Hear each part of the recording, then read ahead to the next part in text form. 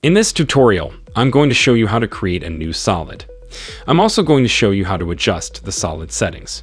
There are many ways that you can use a solid layer in After Effects, but one of the most common use cases is so you can have a colored background for your composition. So let's go ahead and create a new composition. You can do so in the composition menu by selecting New Composition, or use the keyboard shortcut Control N. 1920, 1080 is fine, all these are fine. One thing I want you to note is right here, the background color.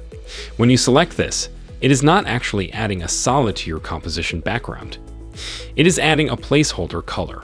So if I was to select this and use the same blue that you see in the background here and click OK, here is our new composition.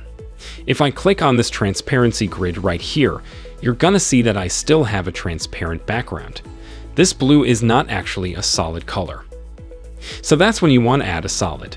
To add a new solid to your After Effects composition, all you need to do is go to the Layer menu, select New, Solid, or use the keyboard shortcut Control Y. So I'm going to use the keyboard shortcut Control Y. That'll bring up the Solid Settings dialog box. Give it a name. I'm just going to call this orange background for an orange background.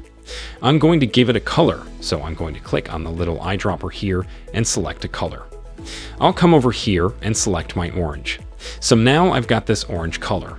Now you can change the width and the height, or you can just do it the easy way and click on this button here, Make Comp Size.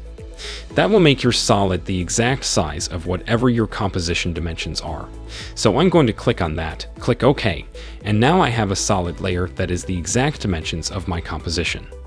Now when I click on this transparency grid, you will see there is no transparency because this is a solid color.